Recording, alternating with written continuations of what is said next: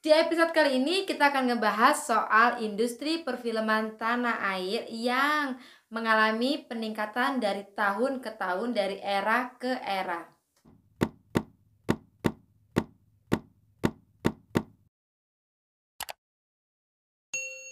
Welcome back to my YouTube channel. It's time for Speak Up.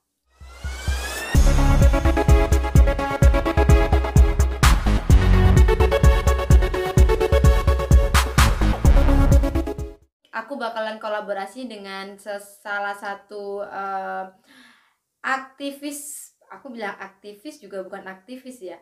Salah satu orang yang konsisten ingin mengembangkan industri perfilman indie. Buat yang penasaran langsung aja tonton channel YouTube aku sampai habis ya. Dan buat yang belum subscribe, jangan lupa buat subscribe, like, comment, and share. Dan jangan lupa buat aktifkan tombol loncengnya supaya kalian bisa selalu dapat informasi terbaru dari channel Speaker.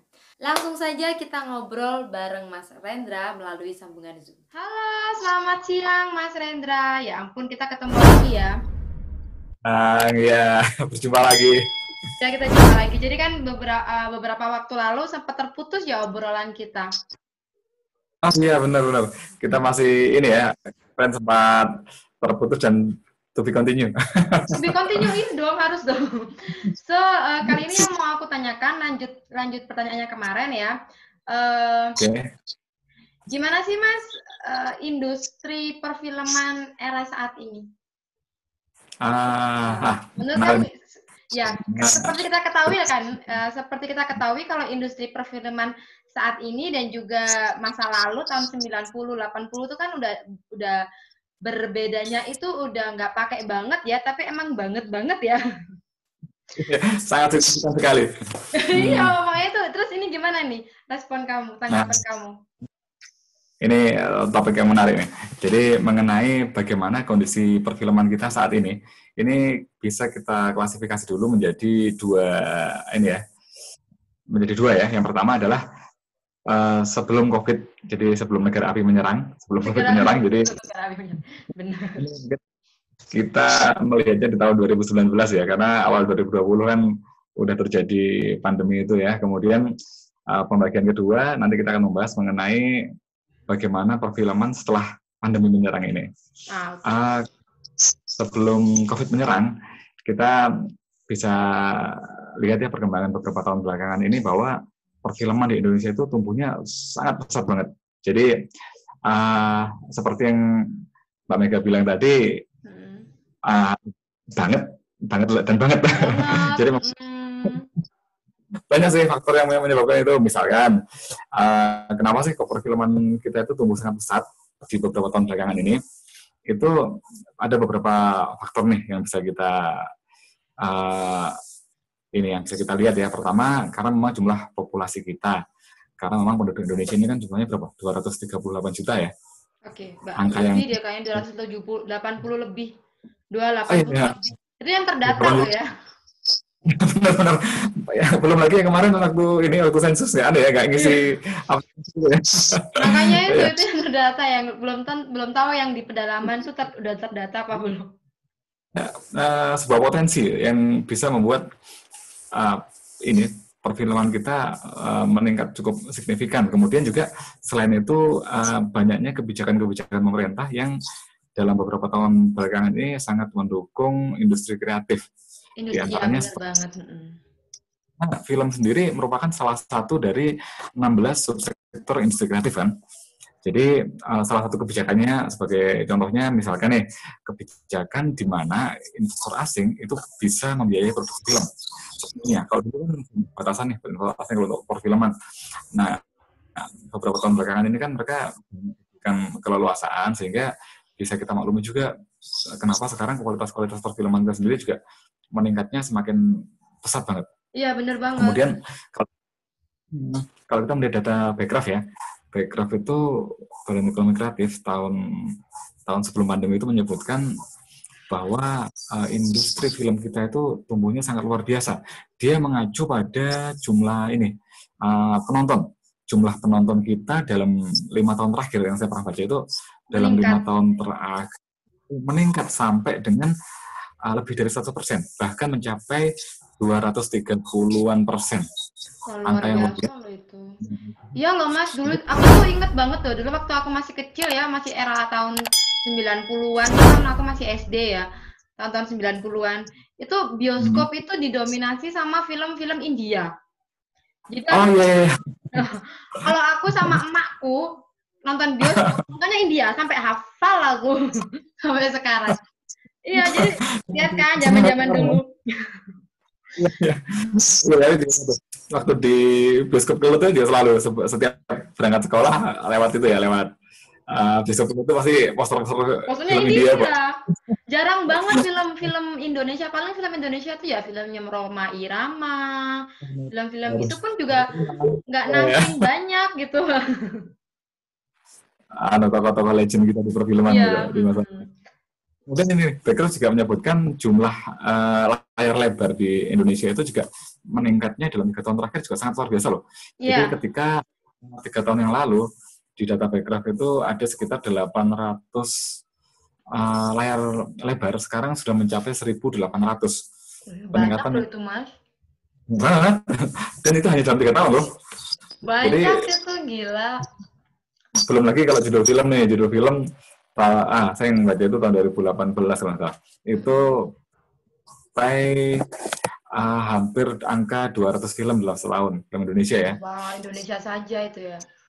Ya, padahal sebelumnya di tahun 2017-nya itu kurang lebih sekitar 140-an.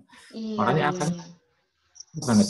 Tapi itu semua terjadi sebelum pandemi ya pandemi. Tapi by the way kalau kita kita flashback ya, kalau di era tahun 90-an industri bioskop layar tancap indios, in, uh, perfilman itu kan didominasi sama film-film India, film Cina. Aku pasti inget banget itu film Shaolin Shaolin yang botak itu dan betul. Nah, ya, terus di, di era tahun 2000 itu kayaknya bioskop itu udah kayak mati suri katanya. Karena kan itu ah, awal-awalnya ada VCD player, DVD player. Nah, dan juga nah, itu orang udah jarang ke bioskop. Iya, dan juga enak apa uh, sinetron sinetron orang lebih pilih lihat. Iya, oh, iya dan lagi sinetron di rumah gitu. Terus lagi kan lagi booming boomingnya DVD kan mas. Jadi orang ada daripada bayar sepuluh ribu kan dulu bioskop sepuluh ribu dua puluh ribu, mending nyewa aja, nyewa aja kaset DVD Bisa. gitu. Ah, bisa nonton sepuasnya ya.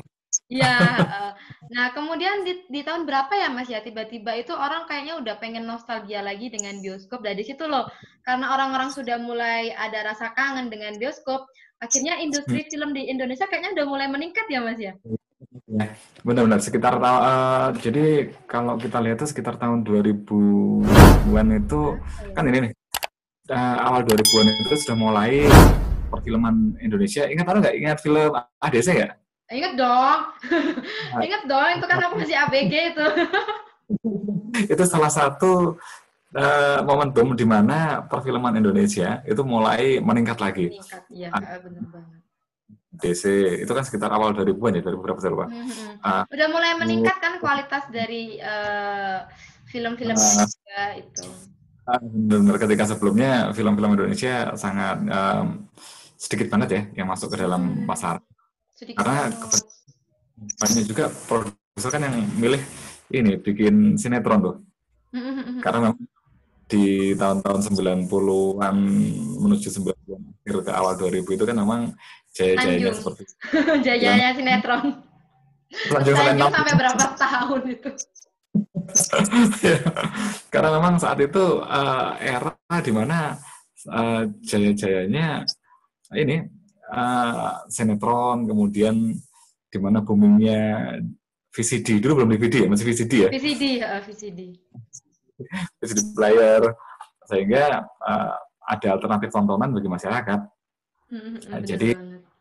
itulah di mana uh, jumlah penonton juga nggak nggak sebanyak ini ya nggak sebanyak sekarang ya. Mm-hmm. dulu sempat menurut orang-orang mau nonton paling film-film Hollywood ya. Film-film mm. Hollywood apalagi di TV juga film-film Bollywood itu kan juga uh, ada terus tuh di berbagai macam TV swasta. Bener banget. Bo apa, box office gitu ya? Uh, selain layar mas box office, box office tadi ada juga ini film-film India yang dimasukkan ke dalam televisi juga loh. Iya. Sangat banyak banget tuh itu. Makanya akhirnya orang-orang sama-sama lihat film dianya di bioskop atau di rumah mereka memilih di rumah di mana pilihan nggak sangat banyak. Kemudian juga saat itu kan ingat anu nggak kalau di ACT itu layar emas gitu itu iya ah, ingat ingat banget itu. Nah, itu kan juga yang baru kemudian tahun 2000-an awal itu mulailah masyarakat uh, secara perlahan mulai kembali ke bioskop. Kemudian didukung juga film-film Indonesia kan juga mengalami peningkatan yang peningkatan. dan dalam hal kualitas mereka juga peningkatan termasuk kayak film ADC itu. Ini banget itu SMA itu teman-teman sampai antri-antri itu banyak itu panjang ya, itu. ADC itu sampai ya ampun luar biasa itu. Lagu-lagu nah, itu kan hmm. itu kan kayak menjadi salah satu apa ya um, apa mem tidak balik. Ya uh, dari industri hmm. perfilman gitu. Dan sampai sekarang pun yang namanya Nikola Saputra, Dian Sastro itu wah dikenal nah, banget gitu. itu. Kayak legend gitu sekarang udah udah jadi legend. Lalu juga ini waktu itu juga selain film itu kemudian yang segmen anak-anak juga ada film Serina. Hmm, Serina petualangan Serina itu. Serina apa tuh? Petualangan Serina ya? Ah. petualangan Serina. Jadi memang mulai di situlah ah, film-film uh, semakin berkembang. Namun sayangnya di sekitar beberapa tahun belakangan ini kan uh, sekitar tahun berapa ya? 2010-an ya? 2010. Atau 2000. Nah, di mana film negara Korea menyerang kah?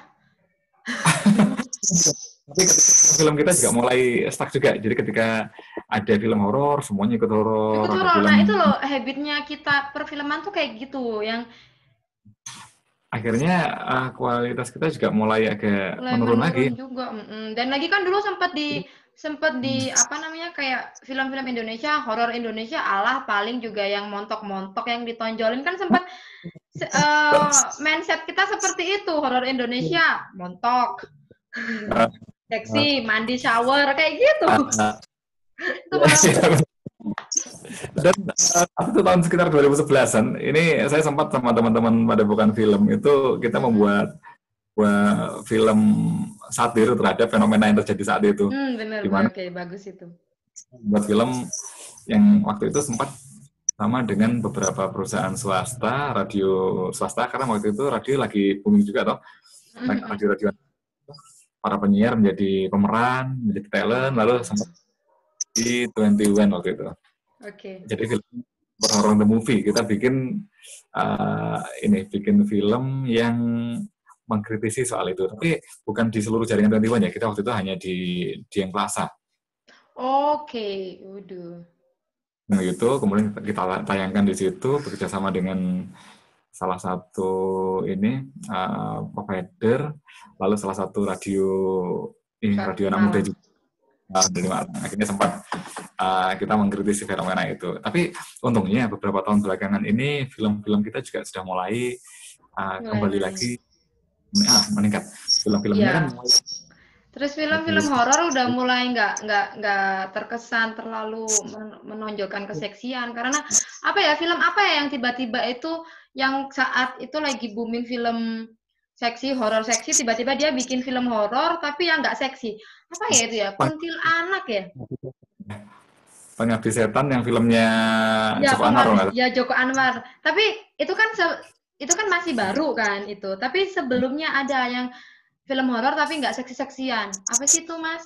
Kuntilanak, Kuntilanak. deh kayaknya yang yang jadi uh, itu kan dia kan bener-bener yang bikin tegang banget itu. Tegang ya. Habis itu baru muncul uh, pengabdi setan tuh keren banget gila loh itu aku di Australia itu lo nonton nonton itu sama sama lakiku pengabdi setan dia bilang oh this is cool it's like a insidious like a conjuring wow awesome Keren. Waktu itu kalau nggak salah uh, saudaranya sendiri juga tuh bilang dia ingin mencoba untuk, untuk ini ingin membuat standar baru untuk film-film horor di Indonesia. Bener banget. Dan, itu film horor pun juga uh, mengalami peningkatan juga. Mm-hmm. Sampai uh, apa ya film-film horor yang baru itu kan juga kualitasnya. Ada horor yang kemarin tuh sampai sadis itu yang aduh tapi karya Joko Anwar juga iya sih mulai meningkat lah ya. Nah itu bagus ah. itu. Apalagi di nah, era digital kayak gini, uh, di era siapa pun bisa mengakses film dengan mudah. Nah, itu kan Betul. itu gimana nih menurut kamu mas kalau gitu ini kita masuk ini masuk ke industri perfilman saat ini tapi setelah negara api menyerang negara api ini tadi namanya setelah covid menyerang nah itu adalah uh, pukulan yang sangat telak bagi industri perfilman di mana kita itu sudah mulai lagi naik baik dengan kualitas dengan jumlah penonton yang luar biasa. Bahkan di PK tadi disebutkan jumlah layar uh, lebar pun juga meningkat. Demikian pesat di lah pandemi itu uh, yang sama-sama nggak pernah kita inginkan ya. Akhirnya tidak uh, mau diakui bahwa industri perfilman dunia bahkan itu mengalami pukulan yang sangat telak. Jadi uh, saya pernah sebentar, saya pernah baca itu di mana ya? Itu menyebutkan potensi kerugian perfilman di Indonesia aja mencapai 2 triliun lebih. Banyak di, mas, iya bisa lebih. Oh benar banget. Menangis hmm. ini industri perfilman. Ya. Nah, itu tadi ngobrol serunya bareng Mas Renda tentang industri perfilman tanah air dan tonton kelanjutannya di episode selanjutnya karena kita tetap akan membahas soal dunia perfilman. Jangan takut untuk berbicara karena mungkin apa yang kalian sampaikan bisa merubah dunia. It's time for speak up. Bye bye.